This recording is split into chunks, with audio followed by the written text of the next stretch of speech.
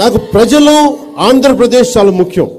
CM అనేది అది నేను చంద్రబాబు గారు కలిసి నిర్ణయించుకుంటాం.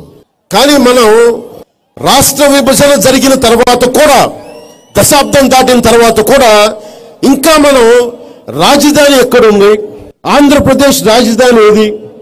అత్తారింటికి దారేది లాగా ఆంధ్రప్రదేశ్ రాజధానికి దారేది అత్తారింటికి దారేది అంటే మూడు మూడు గంటల సమయంలో కథ చెప్పచ్చు.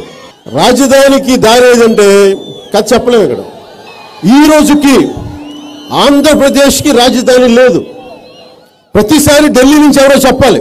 రాజు రాజ రాజధాని అమరావతి అని.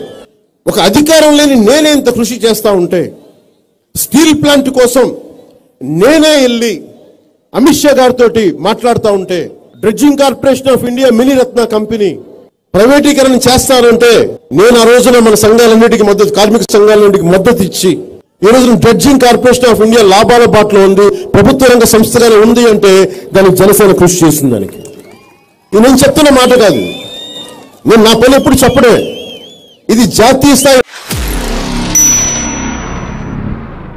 చంద్రబాబు అనేవాడు అధికారంలోకి రావటం పగటి కళ మనం చూసాం జనసేన బీజేపీ పోటీ చేస్తే జనసేన పరిస్థితి ఏంటో. ఇక్కడ చంద్రబాబుతో కలిసి కనుక జనసేన పోటీ చేస్తే జనసేన పరిస్థితి అదే అవుతుంది మళ్ళీ ఇక్కడ కూడా.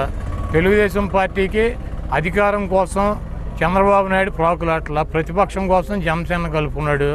పవన్ కళ్యాణ్ గారు అసెంబ్లీకి వెళ్ళి అధ్యక్ష అనాలని చెప్పి నేను ఎమ్మెల్యేకి గెలవాలంటే తెలుగుదేశం అలయన్స్ కావాలని ఆయన కోరుకుంటున్నాడు. ఈయనేమో ఎమ్మెల్యే కోసం ఆయన ప్రతిపక్ష నాయకుడి కోసం పెట్టుకున్నటువంటి అలయన్స్ సింహంలాగా సింగల్గా వచ్చేటువంటి జనాదరణ దేవుడు ఆశీస్సులు ఉన్నటువంటి జగన్మోహన్ రెడ్డికి ఇంటికి ముక్క కూడా పీకలేరు వీళ్ళందరూ కలిసి.